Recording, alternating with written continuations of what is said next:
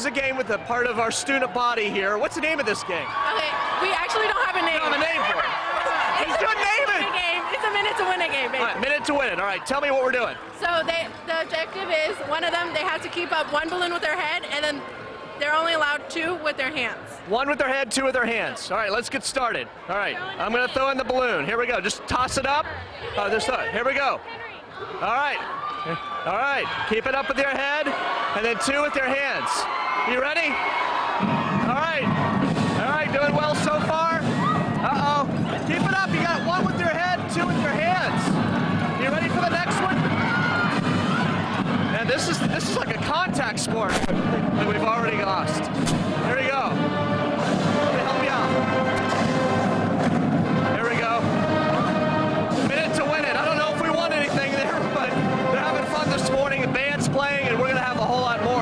from Arlington High School throughout the morning. Back to you guys. I found another game I want to see Jeff do. Exactly.